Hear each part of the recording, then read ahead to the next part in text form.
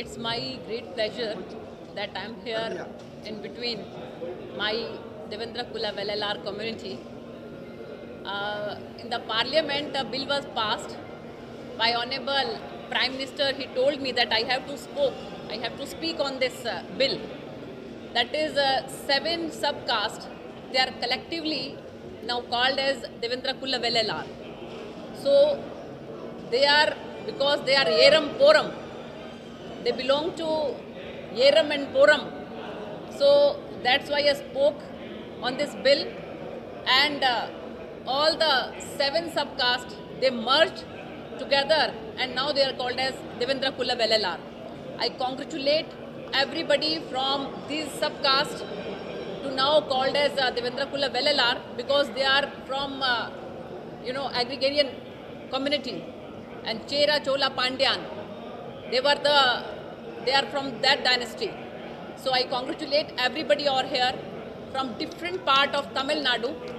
And uh, i really uh, i feel myself very uh, obliged and very glad that i'm the part of uh, this devendra kula vellalar so i congratulate everybody over here from the devendra kula vellalar family.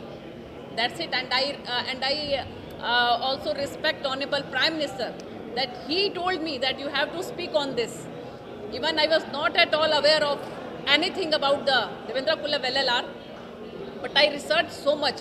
And then i uh, found that uh, like guruji like john pandian uh, there are so many people uh, who worked so hard uh, to i mean make this uh, subcaste as a devendra kula vellalar i respect periyarji also because you know caste is made here only.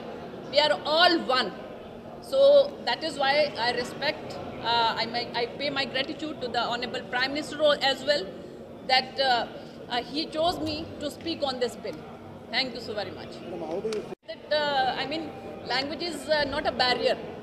So their gesture, uh, their emotion, emotions that shows that how much they love me, and that is because I spoke on this bill, and I tried my level best to speak well in the parliament, and to I mean make a Devendra Kula Vellalar one community instead of seven subcastes.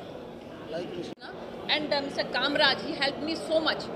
When I uh, just came to know that I have to speak on this, I immediately called him. I know that he is from this area. And uh, fortunately, he was from this uh, subcaste as well. so he knows well. that's why he helped me so much. And uh, that's why it could happen that the all you know the agitation is just to i mean include the people into the reserved category into the sc category uh, just to get uh, so many uh, reservations. But this community is saying that we just want to get out of this. So it's uh, really i think one of its kind in the whole country. Nobody asked that we just want to get out of the reserved communities.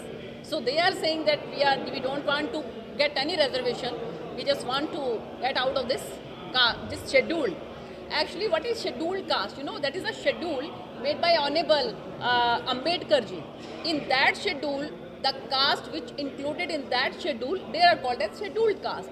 So in case if uh, the people they just think that they are uh, now i mean economically they are sound uh, socially they are sound politically they are sound in case if they just feel like that they can uh, i mean get out of it. It should be there it is not right now but uh, in case if uh, the people are asking for this we should think about it also But very long time. long time they were asking just to make uh, devendra kula vellalar 1 uh, from the and seven the- subcaste Also the SCST alts, because exit, exit, yeah. let's see uh, it's uh, i mean there is no provision in the constitution in case if let's see what will happen i will ask to the honorable prime minister and our ministers of a social department social justice department. Let's see what will happen because it is not happened earlier. Uh, first time it will happen. Let's see